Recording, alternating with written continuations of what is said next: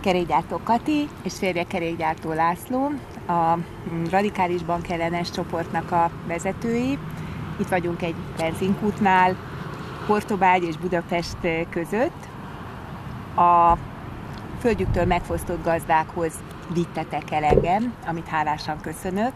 Miért szívügyetek nektek a földjüktől megfosztott hortobágyi, meg más magyar gazdáknak az ügye, miközben ti magatok is devizahiteles áldozatok vagytok, és egy devizahitelesek érdekeit védő szervezetet képviseltek? Azért tartjuk fontosnak, hogy a hortobágyi gazdák mellett is kiálljunk, független attól, hogy mi devizahitelesek vagyunk, mert azt kell látni, hogy bármilyen olyan jogtalanság, vagy amit legalábbis mi annak vélünk, csak akkor fog tudni úgymond jogos, tehát megoldódni, megoldódni hogyha megfelelő mennyiségű ember tudja követelni azt, ami, amit ő úgy gondol, hogy igaza van. Márpedig, hogyha ezek a fölszeletelt társadalmi rétegek nem fogják meg egymás kezét, és nem együtt akarják az igazukat követelni, egyszerűen valljuk be, sajnos valószínűleg nem fog sikerülni. Tehát nagyon fontosnak tartjuk, hogy a devizahiteles fogja meg a, a gazdák kezét, a gazdák fogják meg a pedagógusok kezét, a pedagógusok együtt jöjjenek a rendvédelmi dolgozókkal képletesen, mert ugye ők sajnos ezt nem tehetik meg. Tehát nagyon-nagyon lényeges, hogy a társadalmi, különálló társadalmi csoportok együtt követeljék az igazukat. Ez világos. Itt van előttünk sok-sok papír. Ugye Brüsszelben találkoztunk utoljára, amikor elmondtátok, hogy a forintosítás, idézőjeles forintosítás, hiszen eleve forintban voltak ezek az úgynevezett devizahitelek, nem oldja meg a devizahiteleseknek a helyzetét, akkor vártátok az elszámolásokat, közben eltelt egy pár hónap, az elszámolásokat kiki megkapta, és azt hallom a televízióban, hogy nincs velük komolyabb probléma, hiszen egy pár száz ember panaszkodott összesen. Mi a tapasztalatotok? Ha jól látom, vagy jól tudom, ez egy darab elszámolás. Hány oldal ez, és hogy néz ki egy ilyen elszámolás? Így van, ez egy darab elszámolás, ez 276 oldalas, csak ez a kimutatás, de még hozzájön néhány oldal, olyan itt egy 6-8 oldal, meg maga az új szerződés is körülbelül olyan 10 oldalas. Ö, azt láthatod, hogy 364 oszlop van. Na most ezek az oszlopok teljesen illogikusan, átláthatatlanul, ezeket nem lehet egymás mellé rakni, még kiterítve sem, nem lehet követni, hogy melyik összeg melyikből jött ki, Megpróbáltunk egyébként utána járni, mert azt mondtuk, hogy jó, rendben van, mi laikusak vagyunk, nem látjuk át. Ez pont a ti sajátotok, Ez, ez pont az én sajátom. Szó, hogy minden nem. hiteles érdekvédő ez... szervezet egy nagyon különleges esetet kiragadtok, mm. hanem már mindjárt sajátotokat Ez konkrétan a mi sajátunk, így van. Ez a mi sajátunk, többet magunkkal be is mentünk például az Erste bankban, de bementünk több másik bankba is, ahol bevittük a részletes elszámolásunkat, és megkértük az ügyintézőt, hogy legyen szíves nekünk segíteni, elvégről mégiscsak banki alkalmazott. Na most kiderült, hogy az ügyintézők semmit nem tudnak sem felvilágosítást adni, sem értelmezni, azt sem tudják, hogy mi miért van. Azt mondták, hogy lehet írni panaszlevelet. Meg lehetett, több mint egy hete megírtuk a panaszlevelet, amire még, amiben ugye felír, felvezettük, hogy mi az, amit nem értünk, így nem tudunk reklamálni a Magyar Nemzeti Bank vagy a PBT felé, ha magát az alapokat sem értjük, hát akkor hogy reklamálnánk.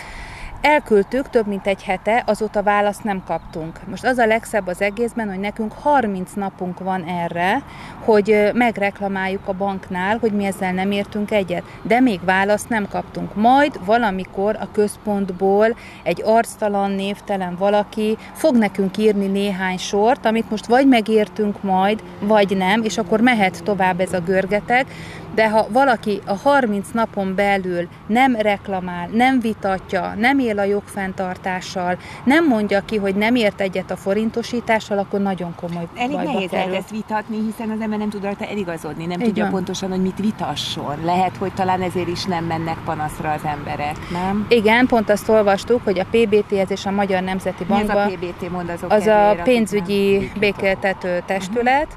Uh-huh. Ugye van egy út amit végig kellene járni. A békéltető pénzügyi testület, a PBT és ennek egyik foka.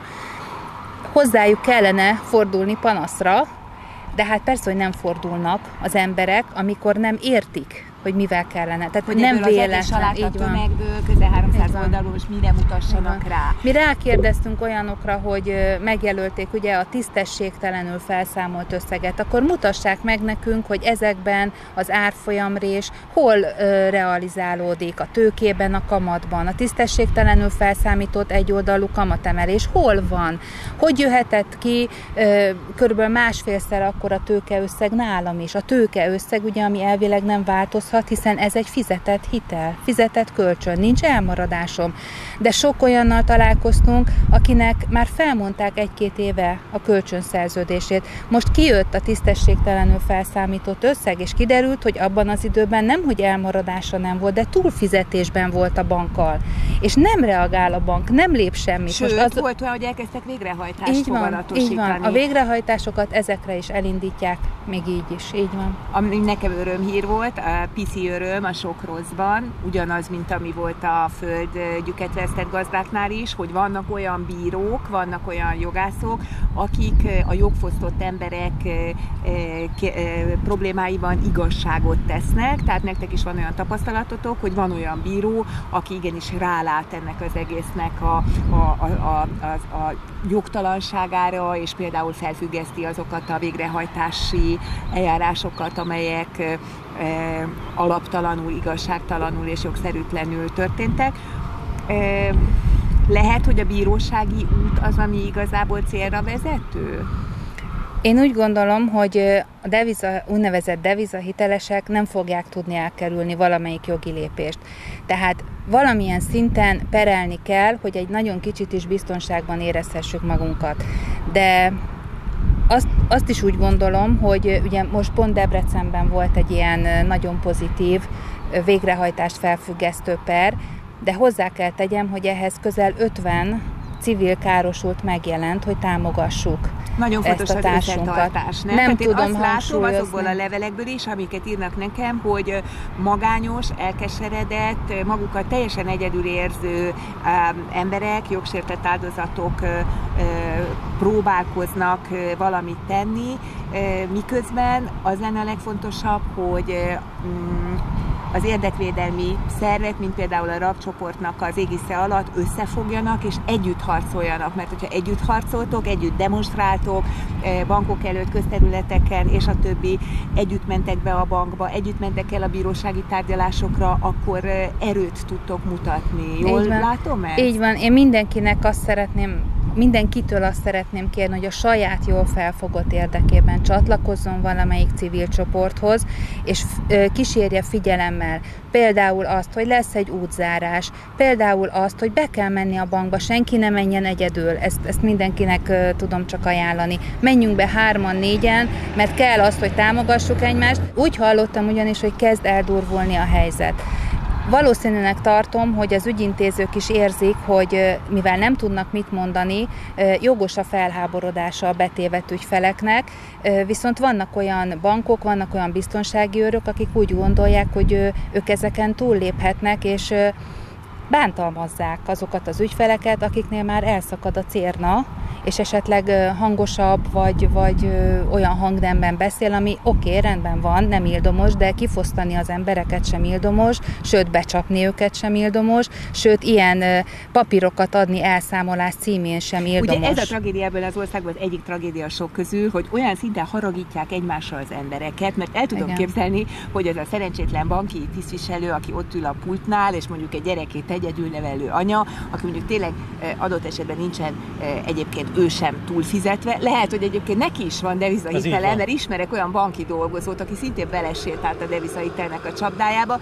Szegényen ugye ő rajtán tölti ki a mérgét, az a másik szerencsétlen magyar ember, aki meg a devizahitelbe belefullad, látja, hogy nincs előrelépés, elszakad a cérna, elkezd ordítani, tehát ezért is nagyon fontos, hogy egymást támogatni, lelkileg, idegileg, és hogy a valódi ellenfelekkel szembe fordulni. És testileg a... is, tehát az, hogy hogy lelkileg velünk van valaki egy tüntetésen, az, Kevés. hát az én lelkemnek nagyon jó, de azt a kormány vagy a bankok nem látják, mert a lelket ugye láthatatlanok, tehát nekünk az a nagyon fontos, hogy tényleg szó szerint kéz a kézben oda kell állni, mert másképp nem fog menni.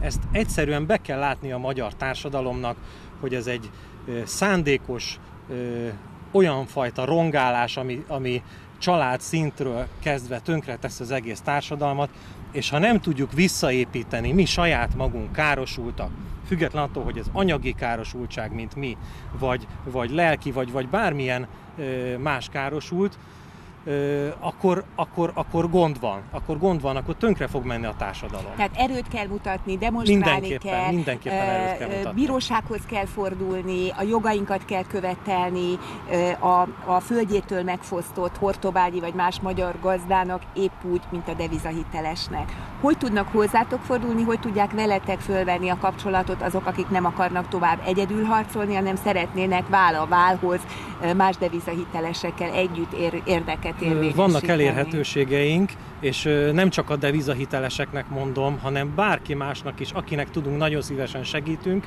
illetve összehozzuk a, a, a, a például a hortobágyi gazdát a másik hortobágyi gazdával, hogyha ő abban látja a segítséget. Több elérhetőségünk van. A Facebookon megtalálnak minket a Radikális Bankellenes csoport néven, illetve most indul majd hamarosan az interneten honlapunk, www.rabcsoport.hu néven.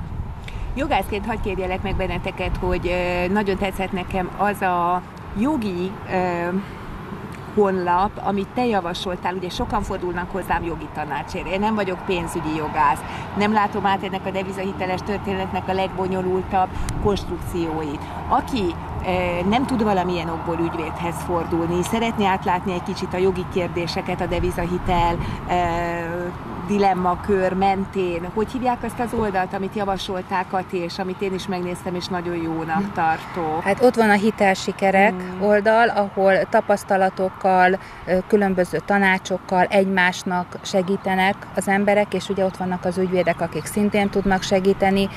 Ott van a szabói... ott találhatóak ügyvédek is, akik specializáltak. Igen, ott konkrét ügyvédlista van a hitelsikerek. Sőt, ítéletek vannak, a magyarázataik ott vannak, tehát ott nagyon-nagyon sokat lehet informálódni.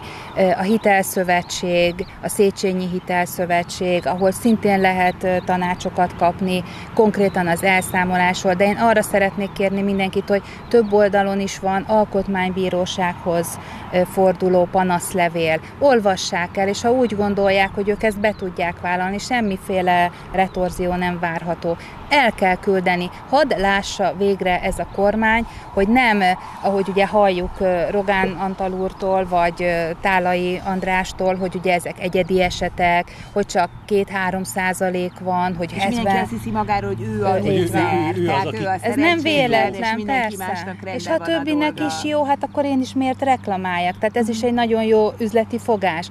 Tehát ö, ö, mutassuk meg, hogy nem, nem igaz, hogy ennyien vagyunk, mert egy alkotmánybírósági panaszt ennek a most még érvényben lévő 5-600 ezer károsultnak be kéne nyújtania. Ugyanígy, hogyha van egy petíció... A jogszabályal szemben, a forintosítási jogszabályal szemben, amelyik 253 forintos...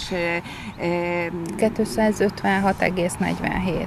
Mindegy. De igen, igen. forintosította igen. a devizahiteleket, igen. soha nem is volt a devizahitelek. Mi, mindig megpróbálnak, ugye... Hát a... ennek az alkotmányellenessége érdekében van folyamatban egy kampány? Az a probléma, hogy sok ember úgy fordul hozzánk, hogy miért nem lehet most is 180 forinton kifizetni, és borzasztó nehéz megértetni az emberekkel, hogy nem vagyunk bejebb vele, hiszen több jogi fórum kimondta, hogy nem volt a szerződések mögött deviza. Egyszerűen nincs átváltás, nincs árfolyamrés, semmi nincs, ami a devizához köthető. Uh-huh. Megkapott forintösszeg van, törlesztett forintösszeg van, és, és annak esetlegesen indul. a jogos kamatai, illetve ezzel párhuzamosan az a, az a büntetés, illetve az a, az a kártérítés, ami, ami megilleti azokat az embereket, akiktől hosszú éveken keresztül jogtalanul elvontak komoly, sok százezeres adott esetben milliós összegeket, amivel a családja el tudott volna menni nyaralni, a vállalkozása fennmaradhatott volna, stb. stb. Tehát amitől az élete függött. Tehát Én... együtt könnyebb, ugye? Hát sokkal Ez a lényeg, könnyebb. Olyan jó közmondásaink vannak, bocsánat, hogy egyedül nem megy, ugye? Ez is nagyon jó. Sok lúd disznót győz. Meg segíts magadon, Isten is megsegít. Uh-huh.